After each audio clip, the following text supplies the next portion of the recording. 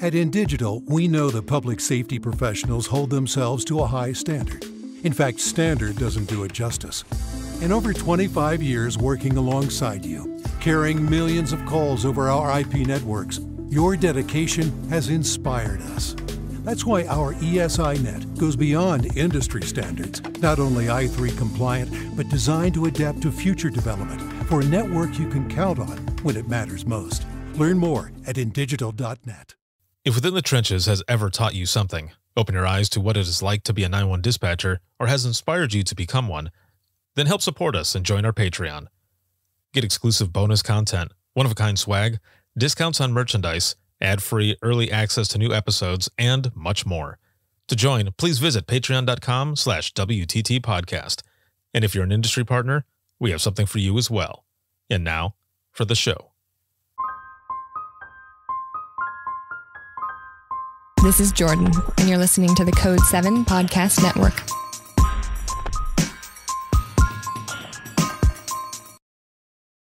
Warning this episode contains the three A's of podcasting adult content, adult language, and awesomeness. You've been warned.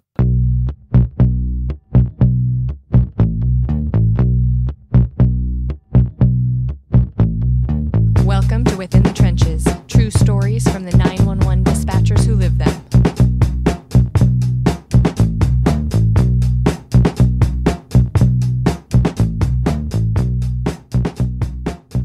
Hey, hey, what's going on? This is Ricardo with the Code 7 Podcast Network, and this is Within the Trenches True Stories from the 911 Dispatchers Who Live Them.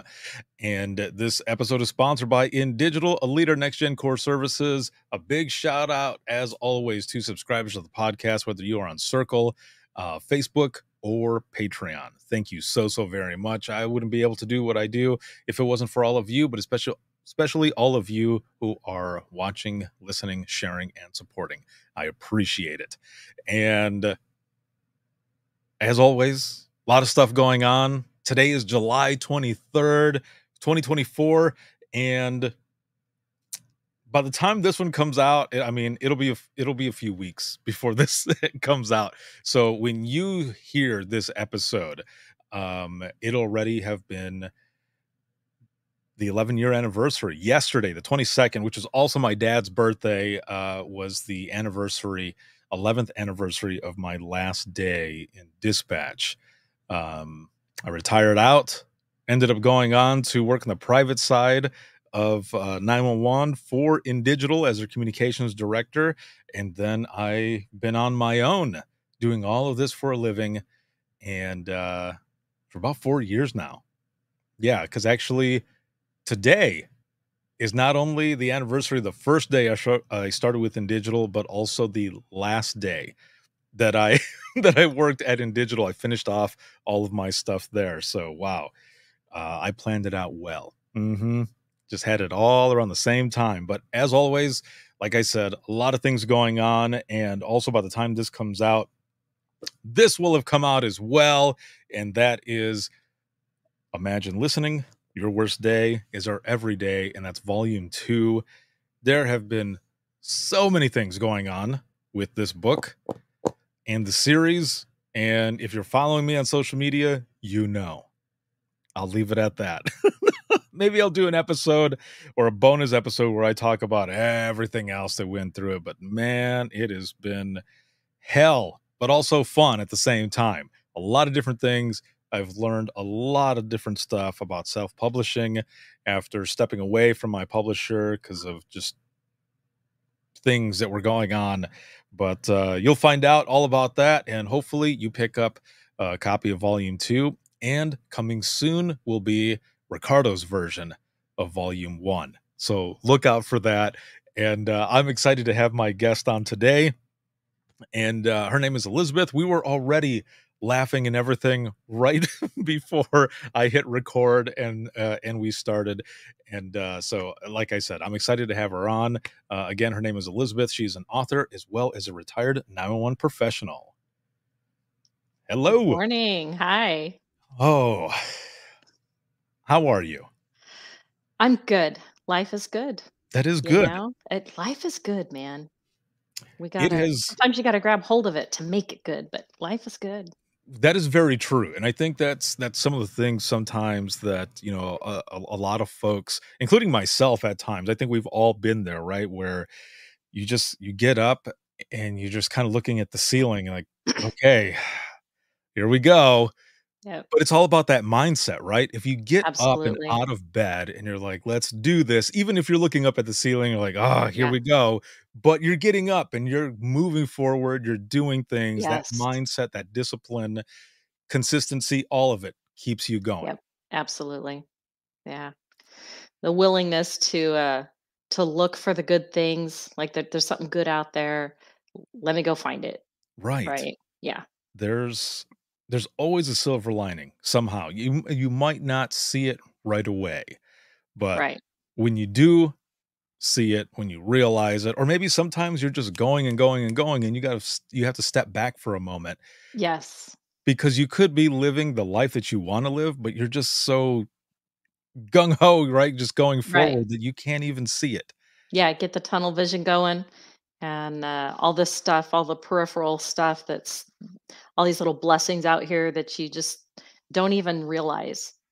You know, they're out there. It's just a matter of finding them. Exactly. In everything that we do. Again, I'm I'm excited to have you on and to talk about a lot of different things that we're talking about. Uh, but first, let's just start out. Let's go back in time really right. quick. Hop into that DeLorean. Let's go back in time. yeah. Well, I'm old, so you know, it's it's a ways back there. well, you uh you were telling me earlier that you have like about, you know, 22 years that you were in uh, in public safety and dispatch and everything, but Right. how did it start out in the beginning? How did you get into it to begin with? You know, it's funny. I I say 22 years, but uh, the funny thing is that when I was about 11, my parents started an ambulance company in a little town in Southern California called Blythe, and uh, Blythe Ambulance began, and it was run out of our house. So because there was no office space, they were working. They had they had full time jobs, but they knew that the community needed this, right? Mhm. So they started this ambulance company, and the phone number for the ambulance company was our phone number. So when mom and dad were at work and the phone rang, we had to answer the phone. And so at the age of 11, 12 years old, I was literally taking calls and getting our dispatch was at the sheriff's department. So I would have to take the information and call the dispatcher and give them the information so they could send an ambulance. What? Yes. Yes. That's amazing. I know. I know. Just I mean, I I look back on that I'm like I, the world was crazy in 1979, right? And there there was no um there just wasn't 911.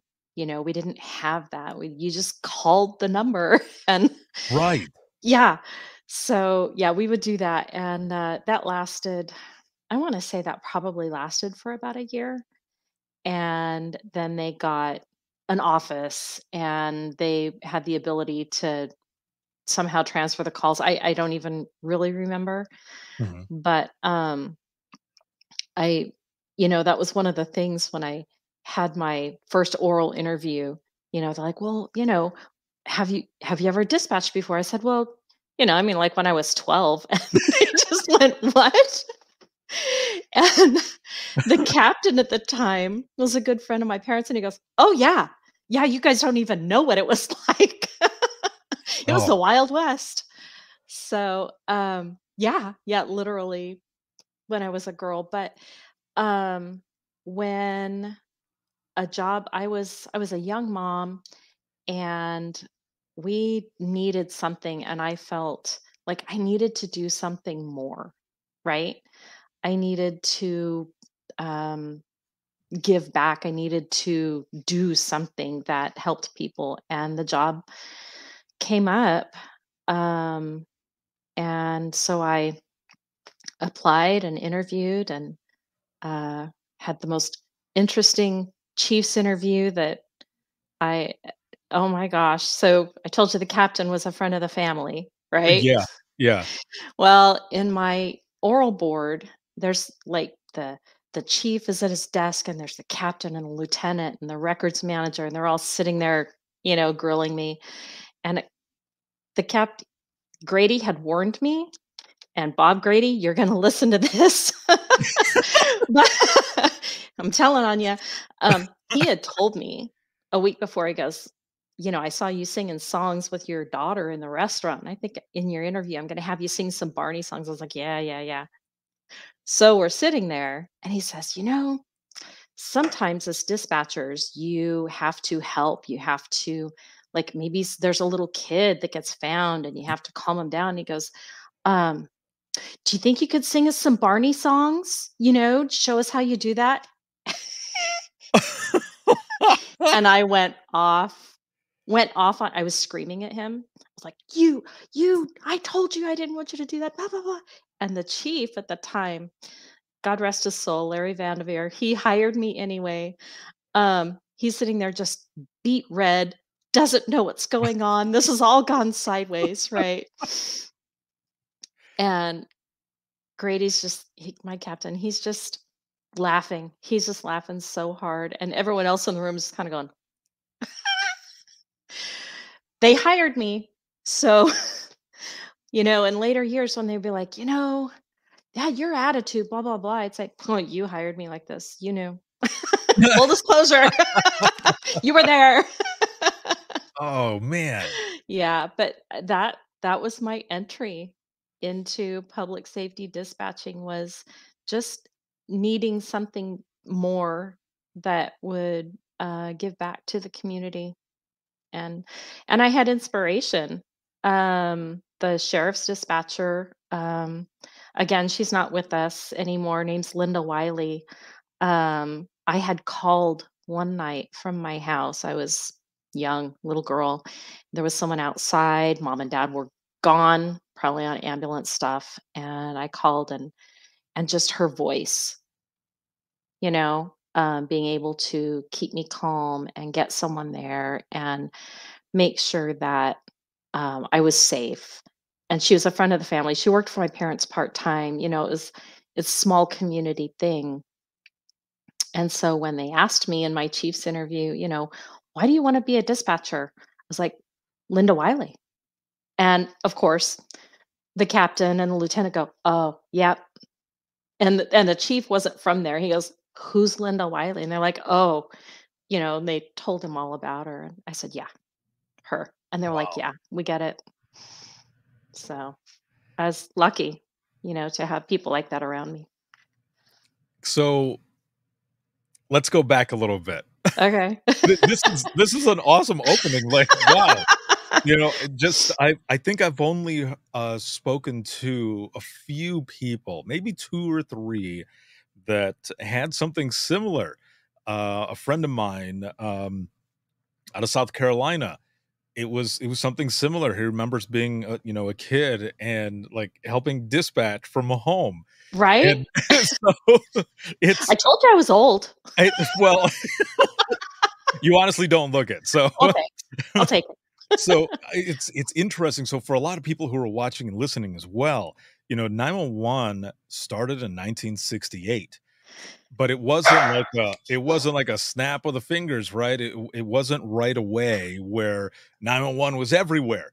Like there's still probably some places that have to call a, Right. a, a phone number, you know, a, a 10 digit line or whatever that for, for them to get through Right. uh, for any type of emergency services. So for you, you know, having uh, having had you know parents and such who start an ambulance service, and you're you're you're getting this information as a kid.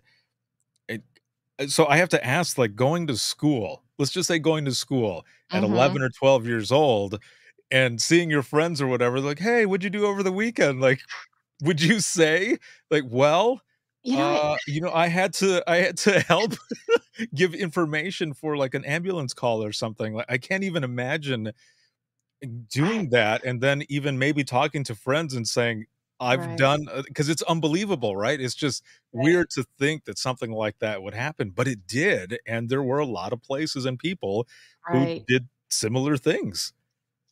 I think that um, my parents impressed on us Mhm. um, from the beginning. This is confidential. You can't tell people about this. You know, they Oh, were very nice. Yes. like um, and I mean, of course, this is before anything like HIPAA or anything like that, but they were True. just Right.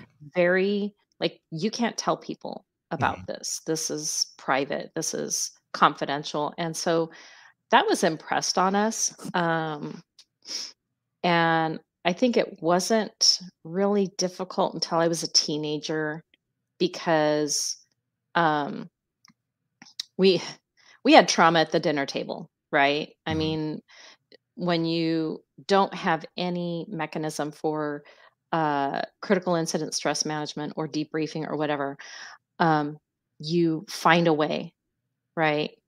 And so we learned a lot at the dinner table um, about what mom and dad did and the Mhm. things that happened. And when there was some horrific thing, you know, like when uh, a guy that I went to school with got killed um, and was in the hospital, it was, you know, my, it was, um, it was difficult to not talk about the things that I knew that other people didn't know.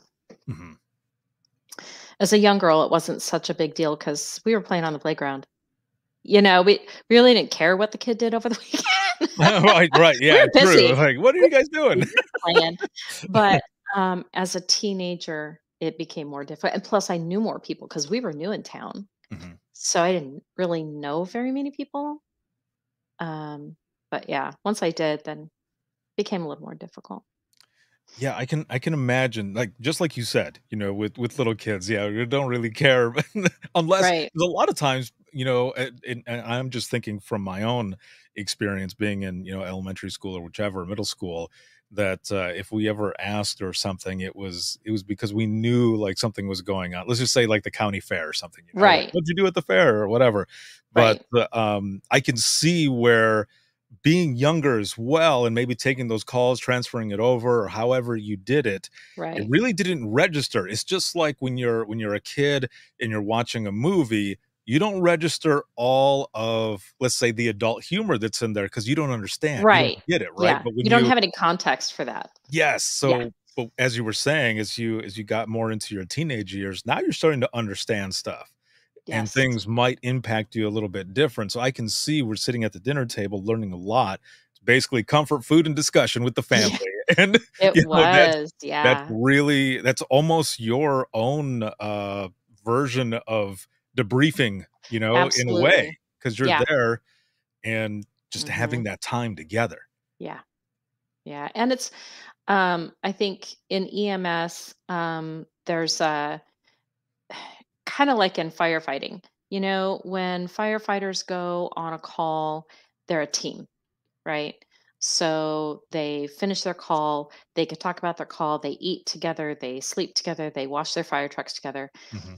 And back then, I don't really know what it's like now, um, but back then, our EMTs were the same. You know, yeah, they responded from home, Mhm. but they were together like a lot and they took care of the rigs together. They took transmissions apart together because if it broke, you fixed it. right. Yeah. And Yeah. you know, it's it's uh whatever needed to happen. And so there was a a really super tight camaraderie between them and their kids, right? Like we knew all the kids of Mhm. everyone that worked for mom and dad. And we so we have some similar experiences there with them too. When you started getting older, did you ever talk about some of those things with those kids? Like, did you keep in contact with a lot of them as you guys got older a little bit? Did you ever like kind of reminisce? Like, can you can you believe like you know we were doing this or some of the stuff that we you know grew up with? You know, we didn't.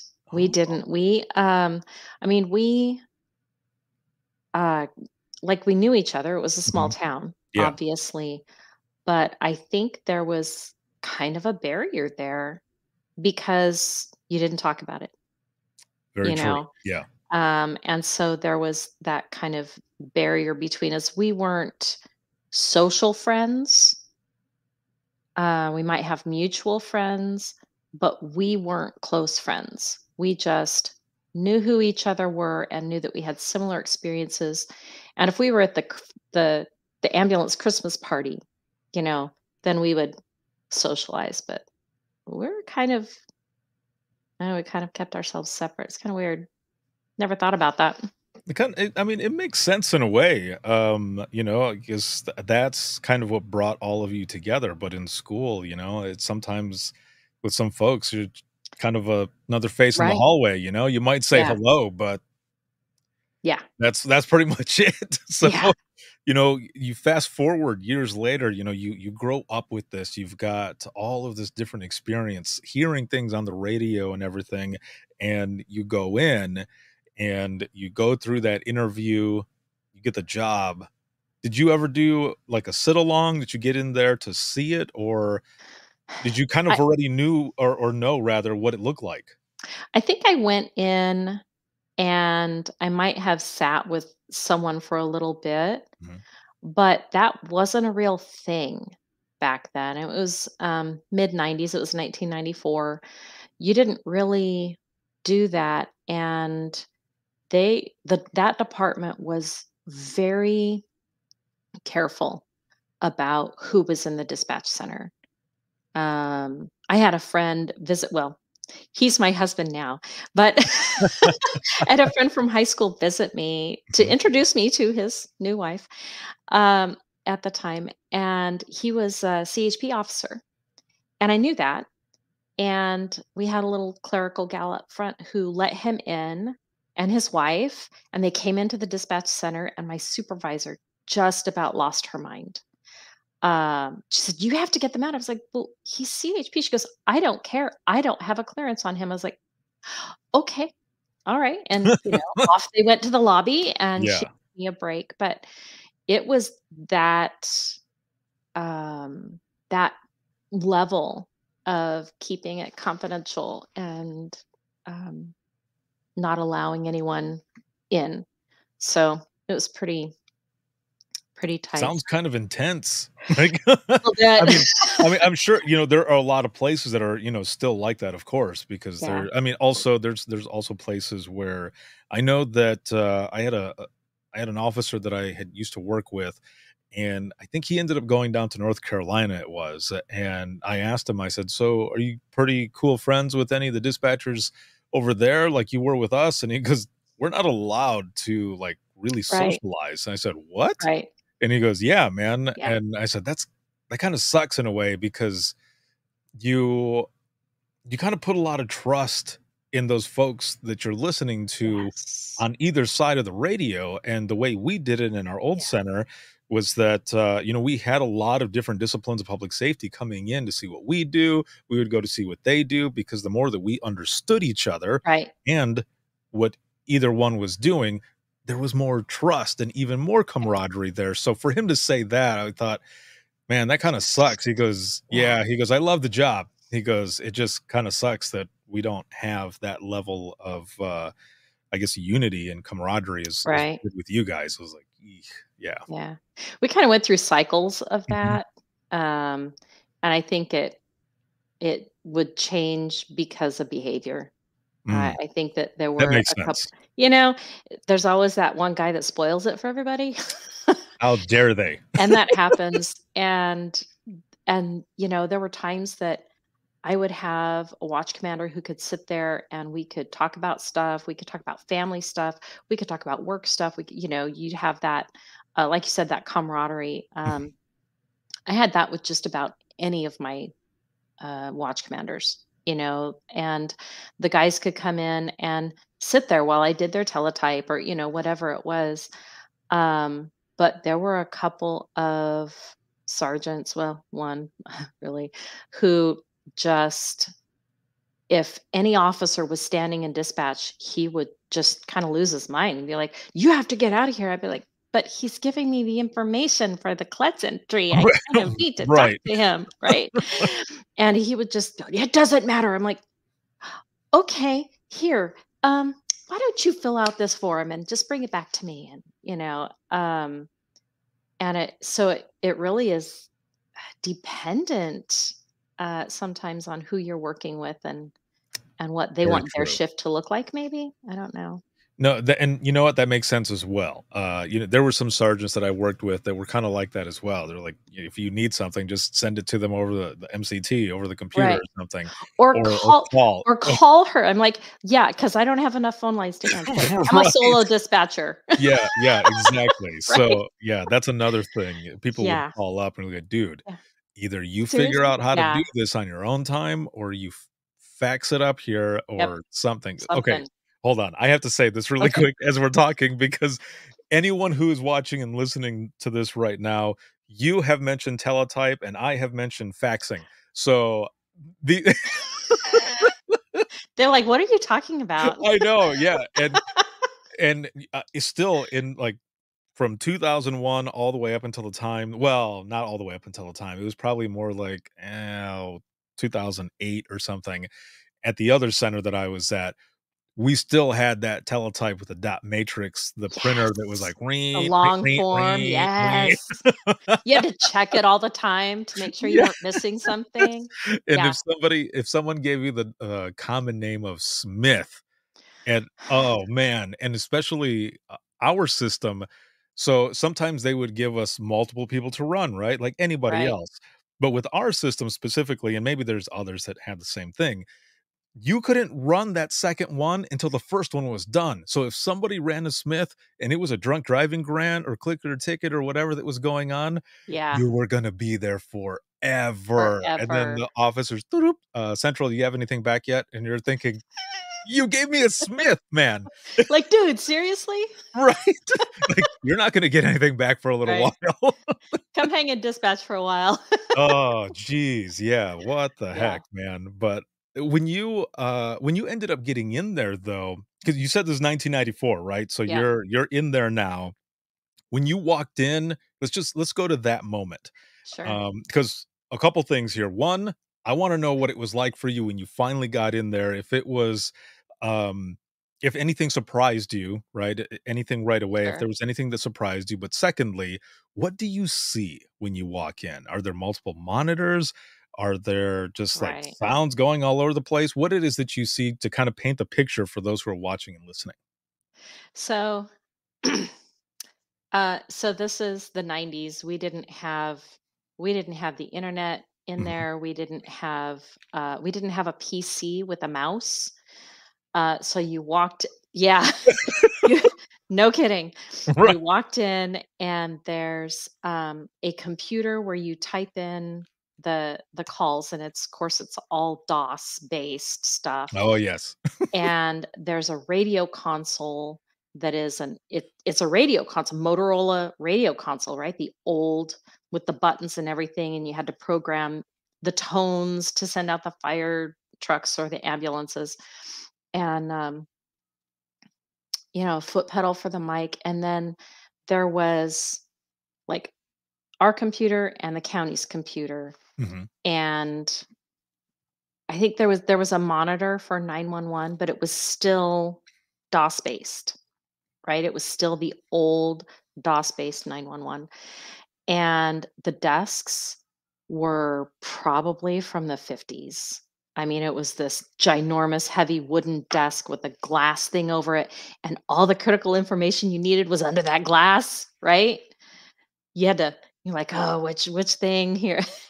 Um, but yeah, it was, uh, old and funky, and the the, uh the phone, uh, electronics were all behind us, uh, just all right there, all the electronics, all the computers, everything was all in this one room.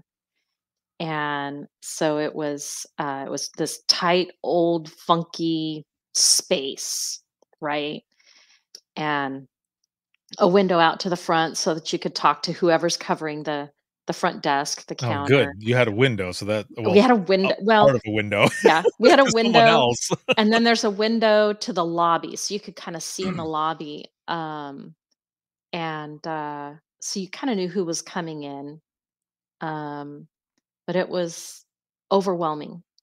I'd never really seen anything like that, so it was overwhelming a little bit, and I I have to give kudos to my trainer. She might have been mean and bitter, but um, my first, I want to say probably two weeks, maybe longer, were spent reading all the manuals, your all the binders, all the manuals, the NCIC, the CLETS, the NLETS, the the everything. Like uh, she literally had me sit there and just flip pages, the policy and procedure manual, the everything. Um, yeah.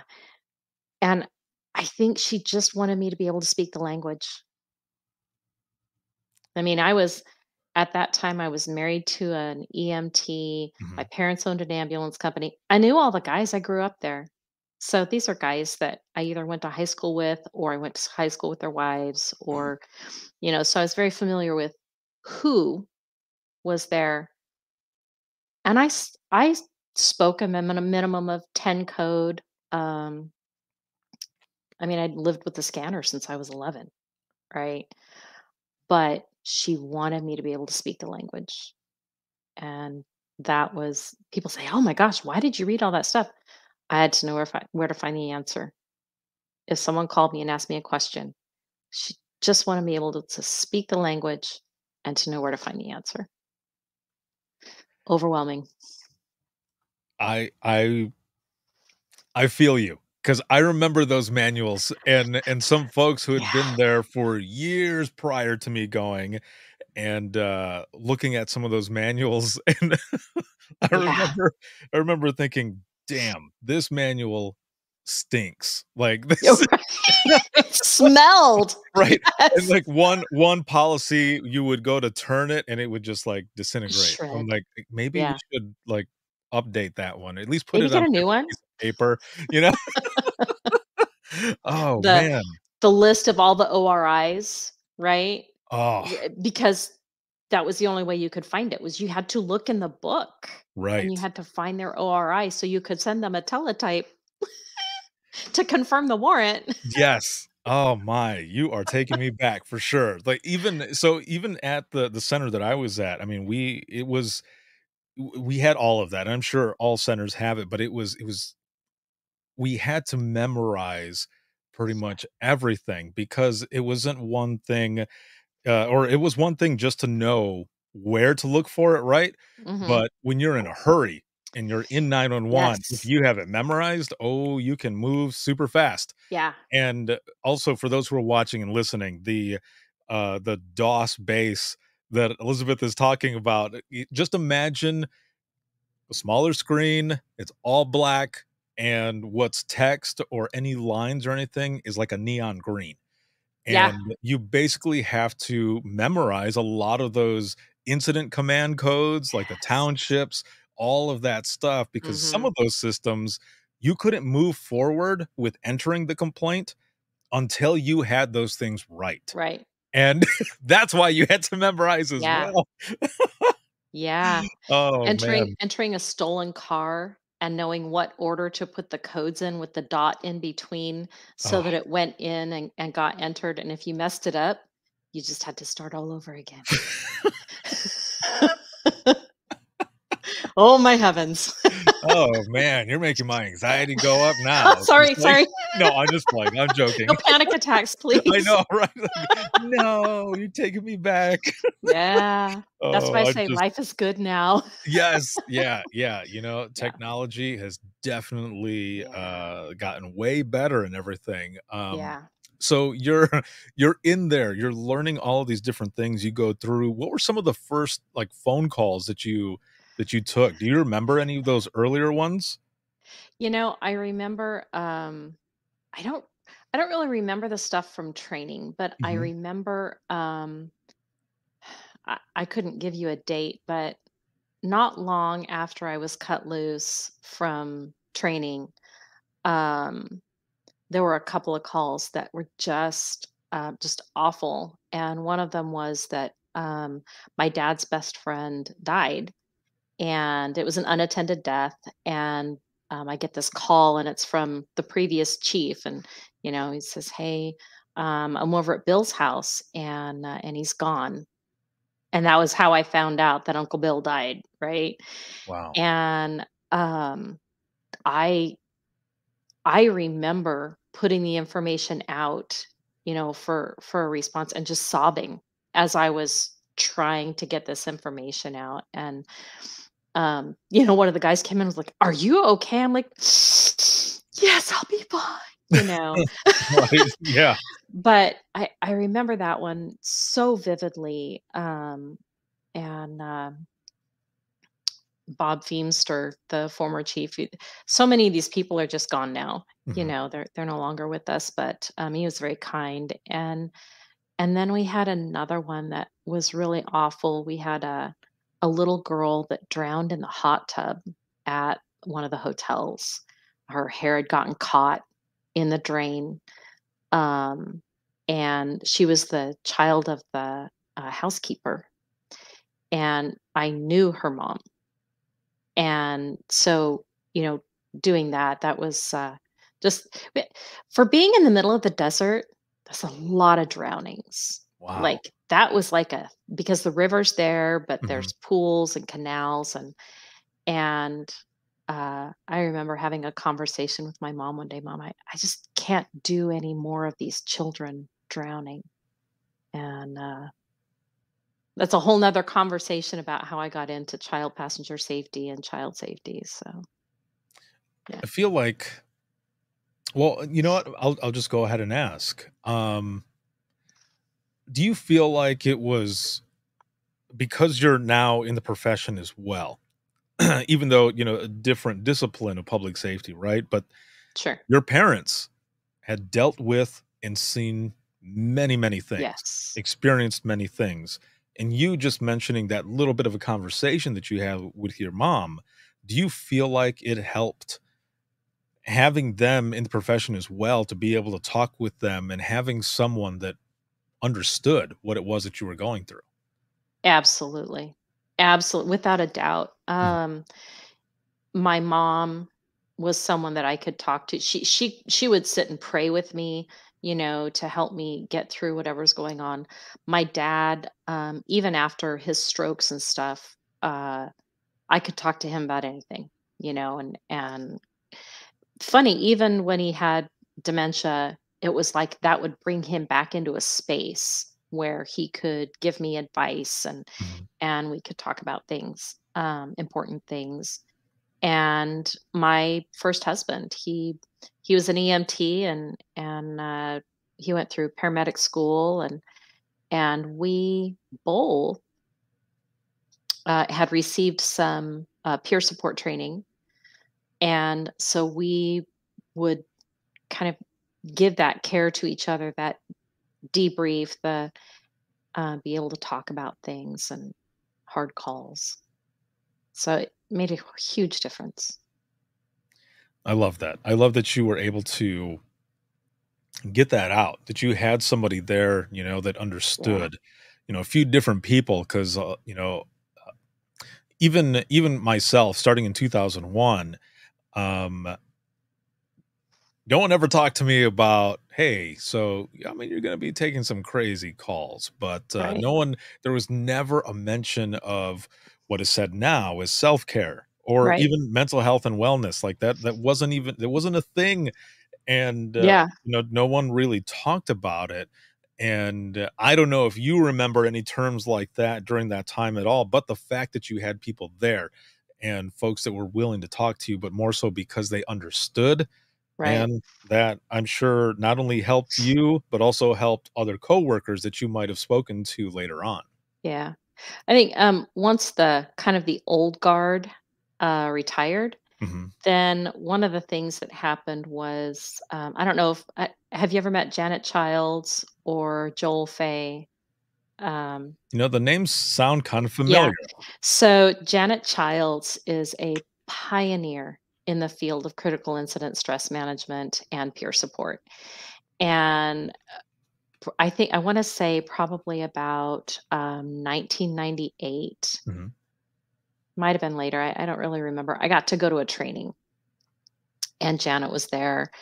And we had two, I think it was the three day, might have been the two day or the three day um, I got to go to two trainings that her organization had put on and learned tools, right? Learned how to not only help myself, but help the people around me. And my department sent me to that. They, I don't even know, uh, I don't know what talked them into doing that. Maybe I just needed post hours and they found something. Mhm. And it turned out to be a huge turning point for our department because now we had, I went and my friend Victor went, and now we had people in our department that you could trust to talk to, right? And who um, we got to just, I don't know, just be the ear, the listening ear, but also taught us how to take care of ourselves. Again, I I love that because a lot of places no, they don't have that, and even today, And I worked They for don't. one of those too. It's so fun. yeah, I I you know I I can imagine because there was I had heard about you know different places where people would just say, oh, this is this is what you signed up for, you know, yes. go to the next one, you'll be all right. I'm like Yep. okay you know and uh i just i, I always go back to also a, another example of my own where uh, my my team and i we had gone through something and uh, they had a, a counselor from eap come and, and talk to Mhm. us and uh, the I, i'm sure you know no disrespect to this gentleman i'm sure he was a great counselor but he didn't come from public safety he didn't come from 911 at all Mm, and uh, you know Yeah. it just immediately was like well how does all of this make you guys feel and we're just okay and and so I, we ended up telling him i don't think this is going to work because you don't come Yeah. from where we come from and and he agreed he also Yeah. agreed and said no you're right you know i i don't understand and it probably would be better for you guys to find someone who comes from where you come Yeah. from and and we parted ways and so, so that was a good thing that you know the counselor actually agreed because right. you know, he understood. go ahead Oh, he understood he wasn't culturally competent. Right yeah and there Yeah. are others who just kind of have that ego who are like no i'm here i'm going to help you and we're we're going to do whatever and Mhm. it doesn't end up being the best you know Yeah. experience um one of the things i wanted to ask you as well as as we were kind of talking about what it was like for you walking in and what you're seeing and everything how many people worked on the floor at a time was it single or were there multiple people I like how you say that on the floor. Yeah. it was a cupboard. Uh, Right. was i was in a closet there was no windows it, it was it was like half of a room and the other half was the records department right Yeah. i mean it was just, yeah uh it was solo dispatch oh okay solo dispatch and um so at the time there was no separate ems dispatch and so blythe police department dispatched police and fire for the city Mhm. and then uh, medical for a third of Riverside counties and part of San Bernardino and Imperial counties. So um, the area that the, our area of influence was I don't even know how many hundred square miles. It was 50 miles one way and 50 miles one way and 50 miles one way, and you know it was huge. Um, yeah. yeah, i was gonna say a portion of san bernardino i can just imagine that that was Right. that alone was probably uh Yeah. pretty pretty uh, busy yeah, we had um, because Blythe is south of Needles, Mhm. California. So Needles is in San Bernardino County, and and we would kind of meet in the middle there. Um, yeah, Wow. And so, okay, so then one person, and were you doing eight hour shifts or 12 hour shifts? We were doing five eights, and we had this crazy rotation. Um, you would do three months, so it was it was you know midnight to eight, eight to four, four to midnight, right? And you would do three months of graveyard, and then you would do three months of day shift, and then you would do three months of swing shift, and then you did three months of relief. Oh, and man. relief, check this out. Relief was swing, swing, day, graveyard, graveyard. What? yeah, yeah. So eight to midnight or four to midnight, two days, Then you get off at midnight, you come back at 8 in the morning, and you work your day shift, and you get off at 4. And then you come back at midnight and work a graveyard, and then another graveyard, and then you're done. So I know. I know. It was like they don't do that anymore. They got rid of that down there. I can Um, see why. yeah. You know, you spent your whole Friday and part of Saturday just recovering, and but you didn't have to go back till 4 PM on Monday. Yeah. You know, it was all like concentrated. um, and they're still doing 5/8s there. So I I can relate a little bit because when I very first started dispatching, uh, I was out in uh, Central Florida at a small police department, one seater, eight hour shifts. Yep. But we changed every two weeks. oh my uh, gosh. yeah, it was uh, it was six A to two P, two P to ten P, and then ten P to six A. Look at you! It's like it's like you're getting ready to do some ohms, like meditate it out, I'm gonna have to go breathe for a minute. I'll be back. right? oh my Uh, yeah, and so that it would be 10p to 6a for that midnight shift, and when you got to midnights, you were on that for a month, and then you went straight to days, and uh, it. I mean, even with you, you know, and and Yeah. any shift, it's hard to plan stuff, right? Yep. So that that wasn't a lot of fun, but uh, Yeah. that's the way it was where we were at. Wow. The the thing I did like about it Mhm. was I could plan because I could tell you, okay, I'm working this shift right now. I could tell you a year from now what my days off would be, Oh, right? Because if you were on day shift, your days off were always um I think Wednesday, Thursday. So you always knew you could plan something and know, well, let's see, okay, I'm going to rotate here and here and here. So this is where I'll, yeah, it was very easy to plan. There was no, there was no seniority in it. You just rotated through and it was kind of equalizing, I think. wow. So you know you you go through all of these years and everything you've got all this experience and everything do you is there a call and of course uh, as long as you feel comfortable talking about it is there a call that just kind of sticks with you Um, there's a few, Mhm. and interestingly, the ones that really stick with me are not the ones from Blythe. Um, Blythe Police Department became a place. It, I can still go there and I can still walk in the front door and say, Hey, it's Elizabeth. And they click the door for me because these are my people, right? yeah Uh, for a long time. But I had left and moved to Idaho. And then my first love found me. Uh, and we rekindled that. And he moved me back here to California. Mhm. And so I applied for a job at Arcata Police Department, which is, um, I don't know if you know where uh, Eureka, California is on the coast, Humboldt Bay. Uh, i think I've, the, I've probably been out there i've been out there a lot on, it's, on the west yeah. So, um, but Arcata is just north, it's on the bay. Mhm. And uh, I thought, oh, this is going to be wonderful. And Arcata, it was like the Wild West. Like there were uh, home invasion robberies and shootings and uh, so many transients because the pot capital of the world, right? Mhm. And so there were all of these uh, schizophrenic people and just so much mental health issues. And so the calls there are the ones that just they there was no peer support. I requested a debrief and, and was told no several times. But there are a couple. There was uh there was a man that a lady opened her door and there was a man dying on her stoop from a stabbing. Um there was a one of my you know those people that you talk to every night because they're drunk and they have to talk. And so yeah you yeah, hey, how's it going? You know, okay, Steven, yeah, okay.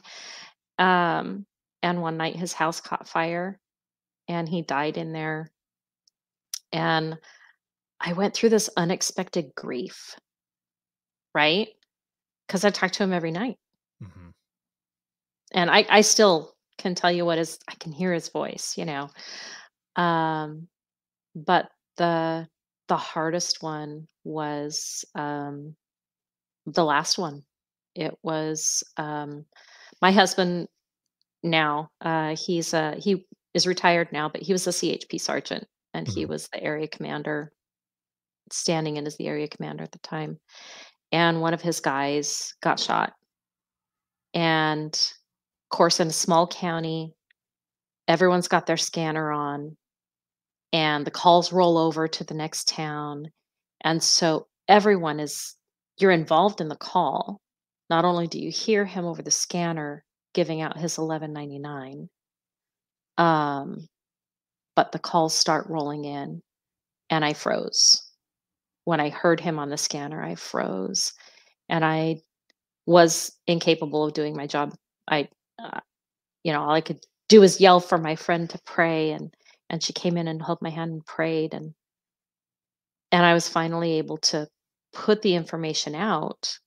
Um, but and they asked me to stay that night. They're like, "Hey, can you so and so sick? Can you just stay?" And I was like, "Uh, I didn't have choice." And so I stayed.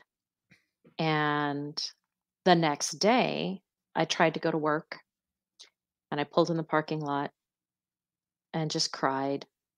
And I went in, put on the headset, you know, put on the headset and you sit down and you do your job. And one of the guys had a bad radio. And he I told him, I said, You gotta go change that radio out. You you gotta I, I can't hear you. And he didn't. And he went on a call and I status checked him and there was no answer.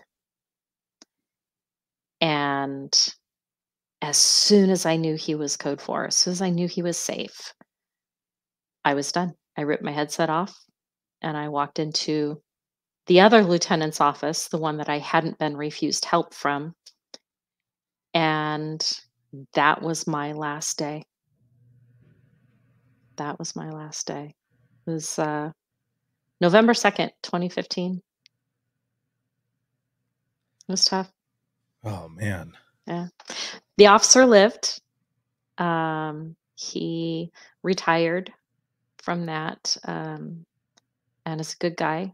Uh, we check in with each other on November 1st. Um, but yeah, that's the one. That's the one. So when you when you end up going in there to speak to that person to say that you're done, I guess what was their reaction? Did they try to get you to stay? Did they try to say, you know, we can get someone to talk to you? Or did they simply understand and just say, if this is, if that's how you feel, you know, if these are your wishes, then we'll, you know, we'll go ahead and, Right. and, and accept your resignation. Um, He uh, actually, um, he was so kind. mhm, And I think that he realized what was going on because I'm pretty sure I was babbling. You know, I, I can't do this. I can't do this anymore. I can't, you know, I can't keep them safe. I don't know what to do. And and uh, I don't really remember a lot of it. I do remember him having the detective sergeant come and stand right here. And I remember him covering his firearm. And that was when I realized that this is this is not okay. I'm not okay.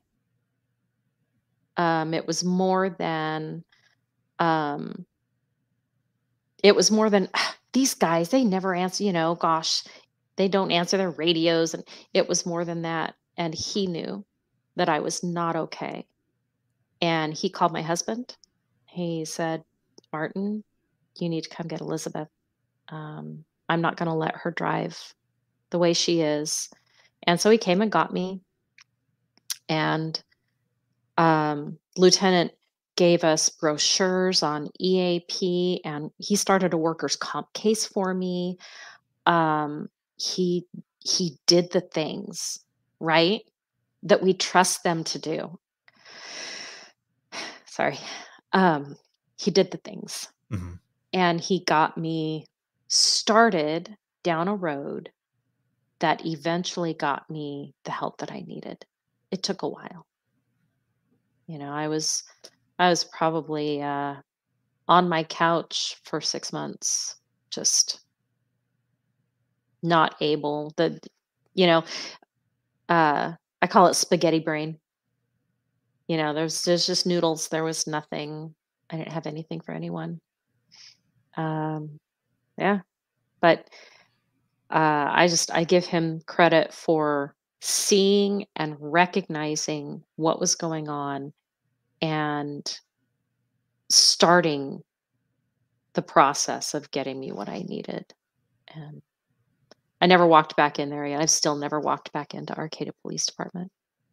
But I do know that he's the chief now and that they have a peer support program and they get the help that they need. They have a good EAP and they're contracted with culturally competent clinicians.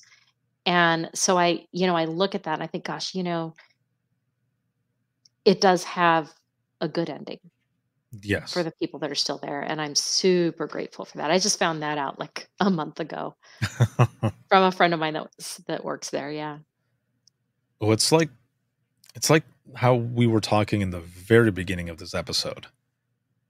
There's always a silver lining. You got to find that Right. silver lining in uh, this is almost like in a way um kind of a full circle type, you know, situation Yeah. where yes, you went through this you had the support there and you worked through all of it and maybe that was one of the main pieces that led to everything that is there now for Absolutely. those who are uh you know within the trenches of 911 still Right. continuing to do and and work in the profession and able to get help thank you so much for for sharing that and Sure. uh so you you end up going through this you know Yeah. you you get that help and you're working on yourself really you know and, and a lot of Yeah. times i think there's there's a lot of us who uh and i'm sure we've all been at some point where you don't ever want to look in the mirror and think is it me? Like do it do i need to fix something? And then you know maybe one day you realize okay i do need to do something. Yeah. and um you know you went through what you went through and now you've so you've you transitioned out. You ended up retiring out of hmm of dispatch. You worked on yourself and everything. Yep. what are the things that you are doing now? So, um, well, for one, I garden. I'm a grandma. I get to be a grandma, uh, which is wonderful. Mhm, Um, so we have we have his and hers kids, mhm. right? Since we found each other again, just we just had our ninth anniversary. Um, congratulations yeah. that's awesome Um, so we have his and hers kids, and one of them has kids, and so they moved. Mine moved up here, so we have grandkids here. Um, and I started writing. Uh, it started with a. I've always written, like I've I've always journaled and written songs and poetry and stuff like that. But I wrote this poem, and we were on our way south to a baby shower for our first grandchild. And I wrote this poem, and then I don't know, a while later, I thought, oh, wouldn't it be fun to make her a little book? Right. So I did some sketches and and you can't see me, but I'm talking with my hands. Uh, you can't tell, but I am. Uh, I I made some sketches, and my husband said, you know, what if you turn that into a real book?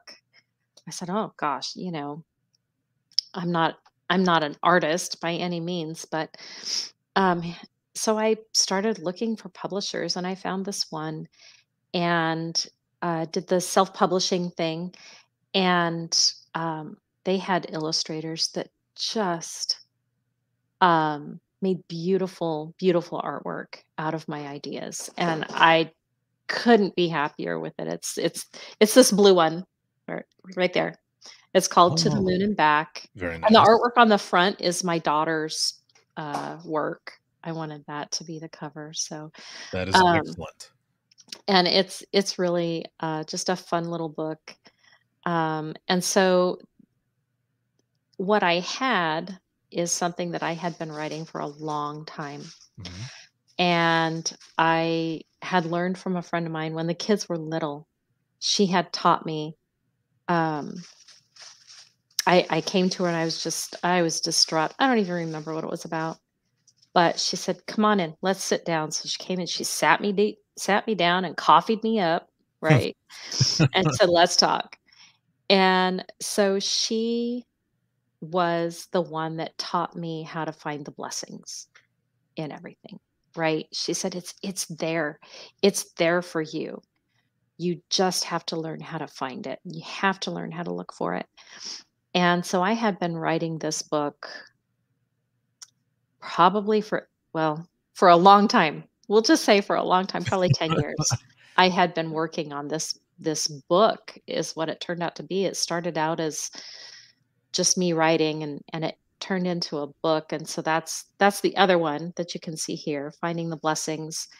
And it's kind of a it's kind of a devotional book um, about being able to tune in a little to the Holy Spirit and be able to just see the things around you and be more aware of them. And I I was talking to someone on Sunday and I, you know, praying over her and saying, you know, let's I, I want you to be able to find the blessings god you know let her find the blessings even if it's a flower sticking up out of the side of the road you Right. know, Yeah. right Silver lining right it's there. it's Yeah. something yes Right. Yeah. yes and so um that's how that book took me a long time and uh i ended up doing that one through kindle direct publishing so it's more um it's me you know it's uh the other one's just a poem so it's me you know that was that was easy but this one is i didn't get a real copy edit on it.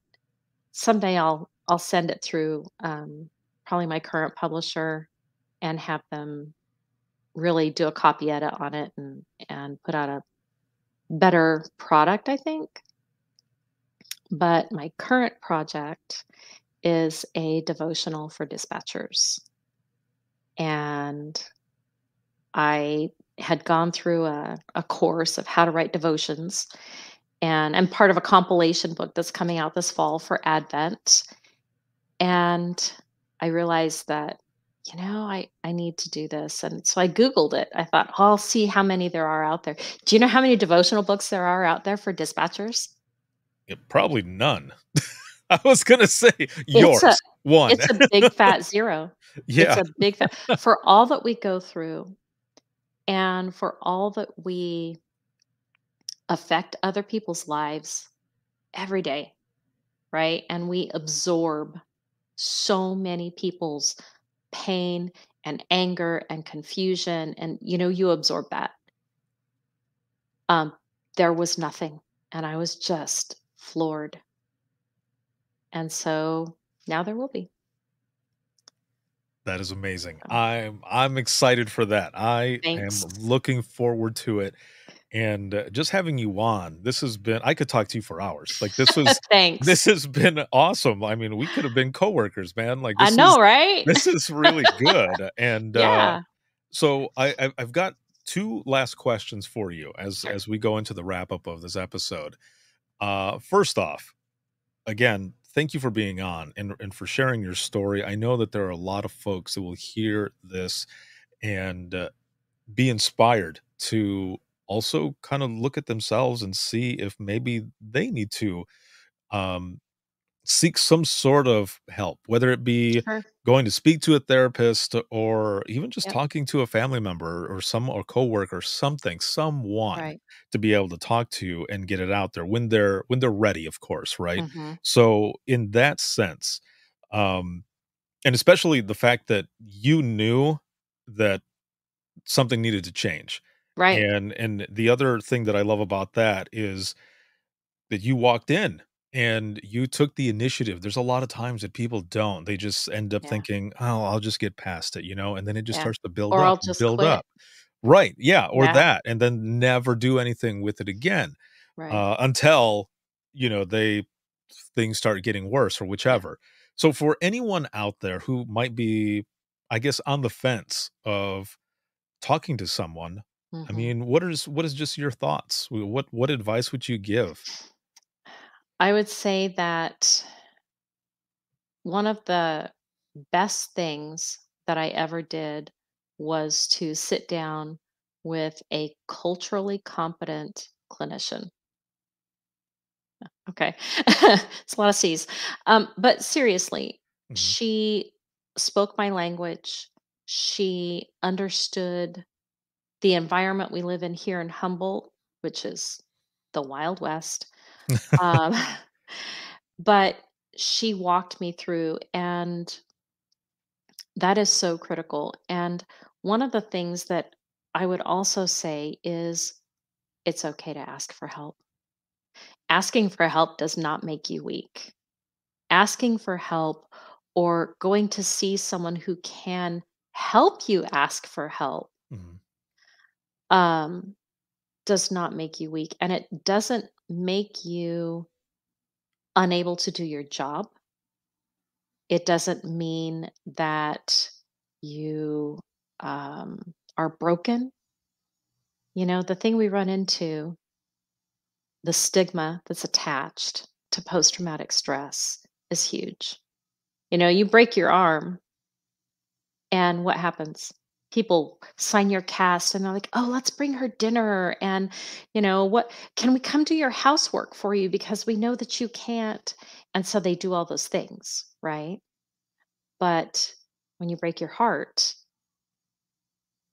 it's crickets. They don't know how. They don't know how to serve you, to, um, they don't think that they can because, oh, it's probably all confidential. And, you know, it's, it's kind of weird, but it's true. You know, when we break our heart, and I, I say our heart and not our head, but it really is a, there is an injury there. Mhm. Now they've reclassified it. Um, people just don't understand. So please, please don't be afraid to ask for help because it doesn't make you weak. If your if your agency has an EAP, you can call your EAP and most of them will give you 12 counseling sessions for free and all your boss knows is that somebody got help. They don't know who, they don't know why, they don't know any of the details. They literally get a statement that says 12 counseling sessions. Boom. That's all they know. I don't know that they even know that. Um, they know someone called and got help. So if you have an EMP, EAP, that's huge. Um, work comp can be difficult. If you think you need that level of help, then I say do it. It made all the difference for me. Um, yeah, get the help. Talk to somebody. Talk to if you have peer counselors in your agency, go for it. If you need to call the First Responder Support Network, um, frsn.org, I think, but it's FRSN. If you need to call them, you call them. They have resources. Um, the Bill Wilson Center for Living on Living with Dying, they actually do a lot of first responder work, um, and they have resources. There's the text helpline. You can text badge. Uh, I won't know the number, but um, I can get it to you.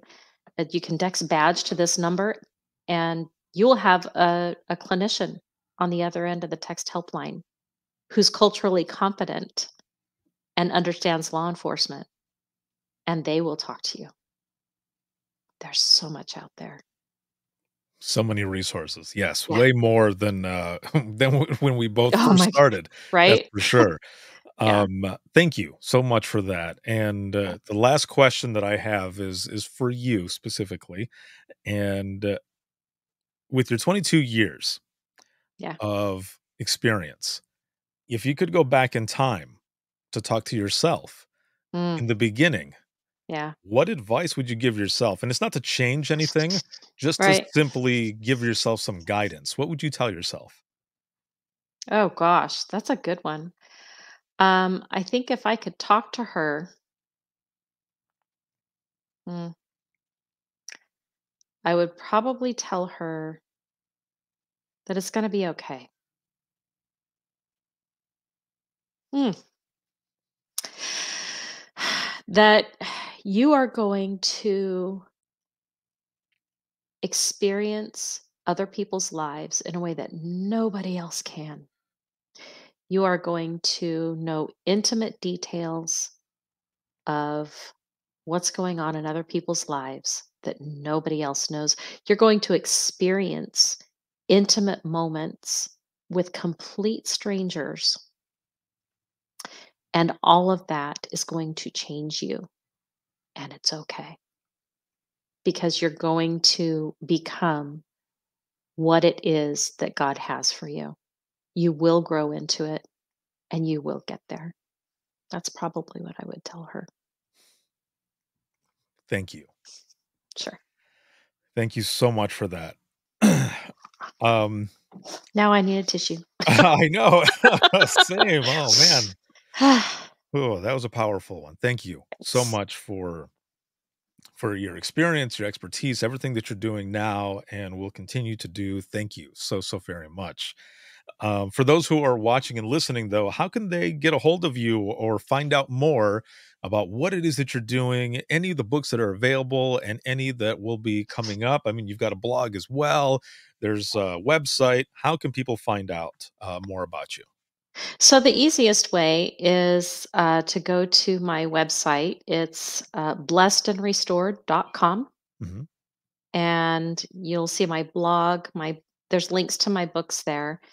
Um, I, I actually have to, I actually have to go in and, and check that out because uh, I, uh, like you, have switched publishers, and so I need to make sure. Um, I don't know uh, if the links are still right for the books, but anyone could uh, email me through my blog, and I would totally uh, sell and ship books from here. I have definitely have a supply, but blessedandrestored.com and my blog is there and I have an email if someone needs to contact me, needs some more information, um, needs a resource.